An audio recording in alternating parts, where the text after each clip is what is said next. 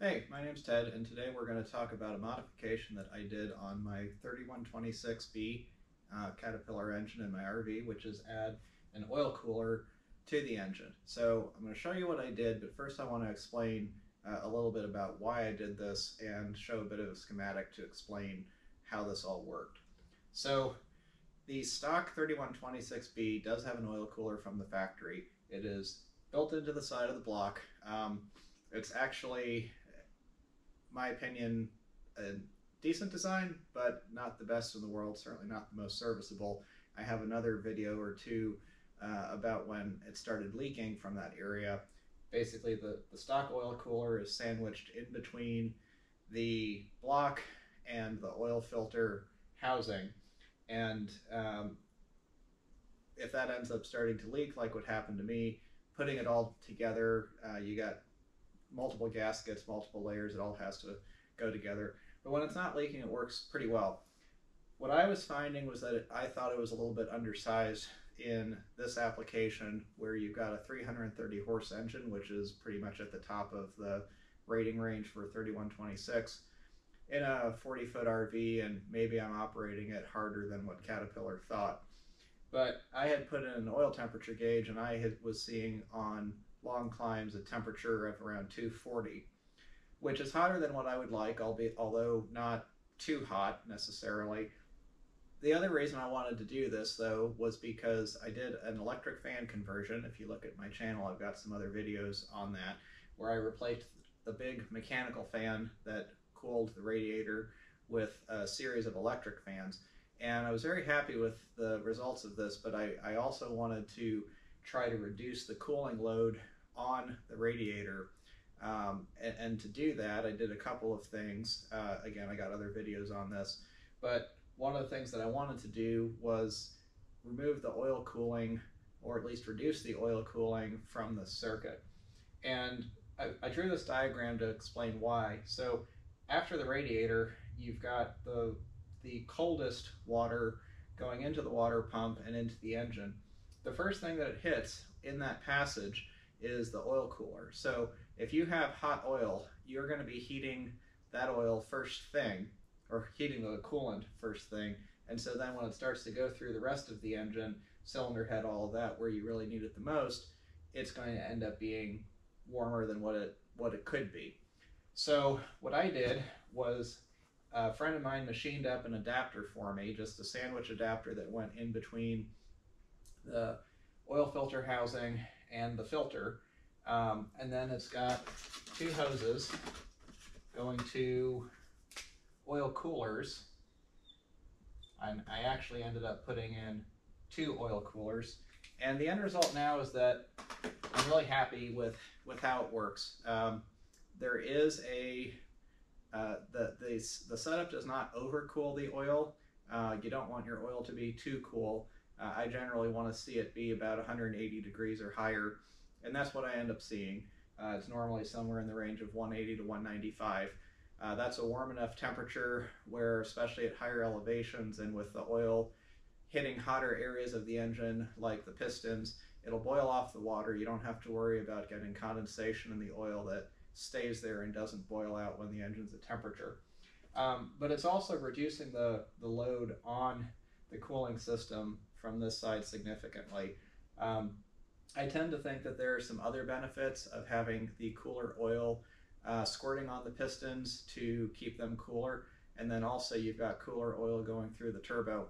So this was a custom thing that I did. It is something that would be fairly difficult to reproduce unless you happen to have a friend with a CNC mill like I do. Um, but if you want to do it, uh, I think it was worthwhile. So uh, I'll crawl underneath the bus now and I'll show you what I did. Okay, I'm now under the bus and this is kind of tight under here, so it's a going to be a little bit hard to see what exactly I've got going on. And it's a little bit dirty because I've been driving it and probably could use a wash. But what you see up here is just a sandwich plate uh, that goes between the oil filter housing and the filter itself. And the way that I did this was a friend of mine um, basically bought a piece of round aluminum that uh, was solid the whole way through. in basically the same uh, diameter as the oil filter. Uh, I gave him a spare oil filter to make the measurements and on out on the inside to create a top section and a bottom section. And so the top section, uh, essentially the center of it is hollow and then the top section and then the bottom section create the supply and the return. So I did this with um, dash 16 hoses so that I had um, enough size that I wasn't worried about a flow restriction. And then I went to the hose shop and it took a whole bunch of fittings and things like that to make all this fit because this is relatively tight. In the top, I also have a thermostatic switch. Um, I could do like what I did with, with my engine control fans, uh, my engine cooling fans, and put in a, a thermostat that would then be, uh, or rather a coolant temperature sensor, temperature sensor rather than a thermostatic switch, and have it be controlled more precisely by the computer uh, with a PWM output. But I figured that I'd start off with this, and I frankly I think it works just fine. There's no reason for me to do anything different. Uh, I believe I went with 195 on and 185 off for the temperature, but they make them in all different uh, configurations. So from here, dash 16 hose goes down, goes underneath the engine, and so then over here you can see this the setup that I did, uh, which is two of these in parallel. Um, they're actually different coolers, um, mostly because there was one that I bought that I ended up not liking as much after I got it, and so then I bought a different one when I decided to do the second one. Basically, the one of them by, by itself did not uh, seem like it was doing as much cooling as what I was hoping for, and uh, also one cooler by itself was creating a bit of an oil pressure restriction. So you can see that when it gets the oil cooler, it tees off and goes to the other oil cooler. And so in doing that, I removed the oil pressure restriction and uh, got more cooling. It's got a standoff from the bottom. It's not what I would call necessarily an ideal setup, but because they're protected by the fans on the bottom, uh, any debris that's getting kicked up by the tires over here probably will not cause an issue. Um, I have not had any issues so far. Um, and it was really the only place I could find that was going to be a good spot to put them. If I'd put them over here next to the oil filter, I would also be putting them right next to the exhaust right here. And I really didn't want to do that because uh, I, I figured that would probably be defeating part of the whole purpose of what I was doing. So uh, this is what I did. And one other thing to note with the sandwich adapter here, um, so it's threaded. There's a couple of ways to do this. Um, on a lot of automotive sandwich adapters that you'll find uh, for sale for if you're going to do something like this with just a Chevy V8 or whatever, uh, they have a screw, uh, essentially a screw that comes up through the middle and so that way you can orient your uh, your fitting outlets wherever you want and then you just tighten it.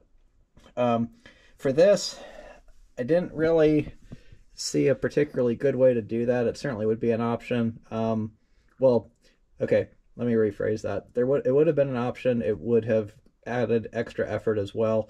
So what we did was uh, my friend made this up, but then he didn't drill the holes or tap them for the Dash 16 fittings. I then put it on the engine and tightened it, uh, figured out where everything was going to be lined up, marked it, and then he drilled accordingly.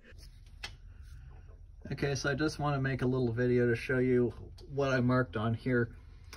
So I tightened this down a little bit, not uh, fully compressed, um, but essentially it, everything needs to be between this line and then I'll have a matching one on the other side. However, about this 90 degree area here looks like it might interfere with the wastegate actuator. So, and it gets pretty close to the turbo. So it's probably better to put the holes on, see, on this side here. Um, because it looks like there's going to be more clearance and probably, and then also less turbo heat that might fry stuff. So let me know if you have any questions. I'll mark, I'll also write on it ideal area to make it obvious. So if you do that, um, you know, you're doing it on a, uh, on a per engine basis, but it's certainly doable and this is a one-off job anyway. So, hope you found this interesting. Um, again, this is a pretty high effort one just because of the fabrication. Um, otherwise, it's really not significant effort. But uh, for, for me, it was worthwhile and definitely helped my overall goals with the engine and my RV. So thanks for watching.